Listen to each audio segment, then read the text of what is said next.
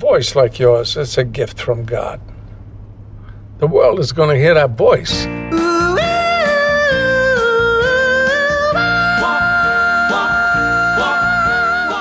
Now, John Lloyd, you won a Tony Award for originating this role on Broadway in 2006. How has your understanding of Frankie Valli changed since then?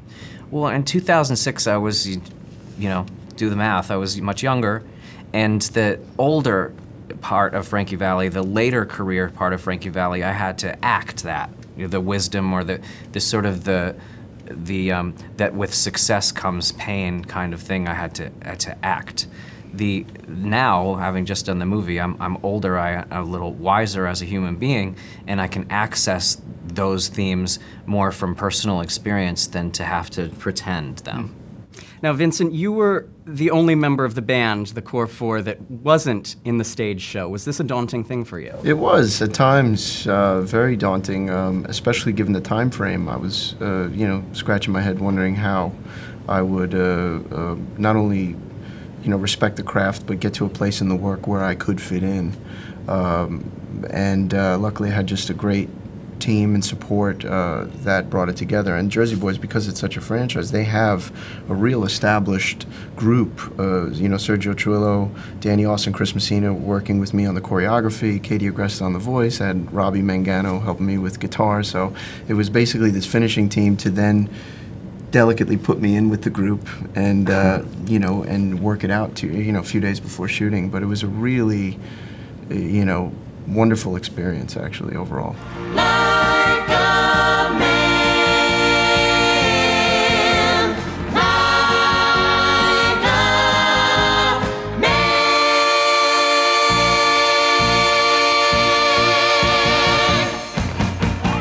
Could you talk about working with Clint Eastwood? it's just so great to be on set with him. He's like a friend and a mentor, um, but also has that steely authority. You know, you've got this dirty Harry and and uh, man without a name persona. You kind of don't want to dare displease him, mm. and so you bring your best game right away.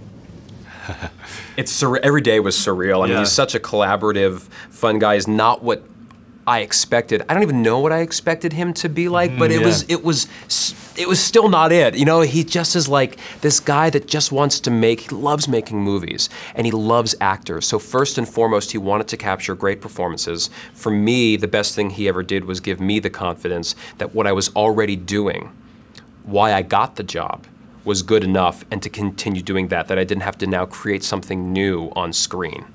Oftentimes, when Broadway musicals are turned into films, they're cast with big name Hollywood stars. What does it mean to you that both of you have come from the stage show and are now in the film? Well, it's incredible in the sense that I think we've both invested a lot of our time and, and, love and pride in this show for so many years that it just feels like coming full circle for me. I mean, I've had a, uh, I've been working on this show since 2008 in, in, several different companies and met so many wonderful people. And to extend the Jersey Boys family to include Clint and the Warner Brothers people is really surreal.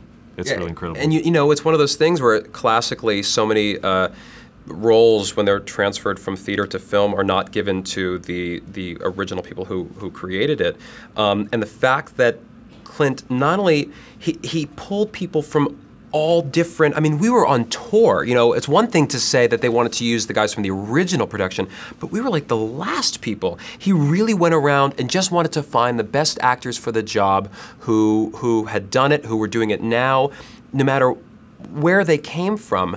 Um, and he was smart to use people that knew these roles through and through, and, and that's, uh, that's why the film works.